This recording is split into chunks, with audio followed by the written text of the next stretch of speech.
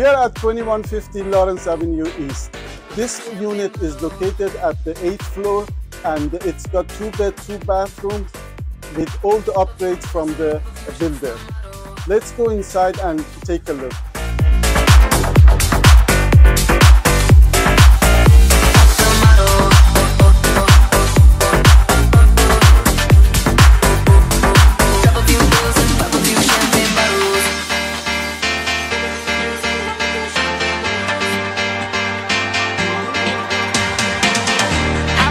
can feel my face, the windows down.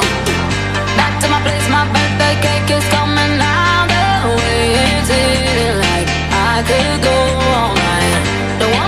Eyes, so hold my drink, let's.